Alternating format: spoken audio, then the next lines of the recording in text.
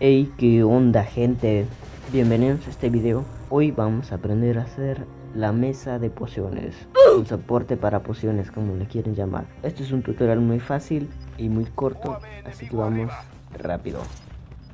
Te cuento un secreto, esto, esto no es Minecraft, esto es Carlos Dudy. Si te interesa, puedes ir a la tarjeta que apareció ahora mismo ahí arriba para ver más contenido. Ajá, de Carlos Duty. Bueno, volvemos a Minecraft. Bienvenidos, esta va a ser una serie la cual va a ser una guía de pociones desde cómo hacer el alambique alquímico o soporte para pociones hasta las pociones más raras y difíciles. Este es un tutorial muy fácil y muy corto, así que vamos rápido. Vamos a aprender a hacer la mesa de pociones o el soporte para pociones como le quieren llamar. El soporte para pociones ya muchos lo conocerán. Es, es la herramienta con la que vamos a hacer prácticamente todo tipo de pociones. Desde pociones banales, pociones raras, pociones arrojadizas hasta pociones persistentes. Y para eso necesitamos el soporte para pociones.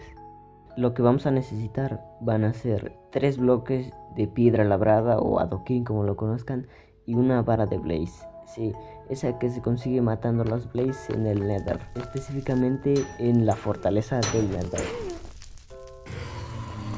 Para su crafteo son tres bloques de piedra labrada y una vara de Blaze.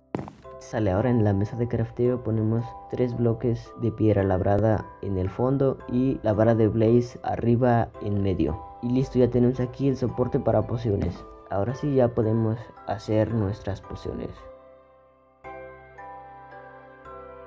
Y eso sería el tutorial gente. Ha sido bastante rápido y bastante fácil, ¿no? Si les ha servido, denle un like y suscríbanse a este canal que vamos a traer más contenido como este. Y no se olviden de activar las notificaciones para no perderse de futuros videos. Y si tienes una sugerencia de algún video o de alguna poción en específica, solo hazlo en los comentarios para que yo te pueda ver y así pueda yo hacer ese tutorial. Bueno, adiós. Chau chau.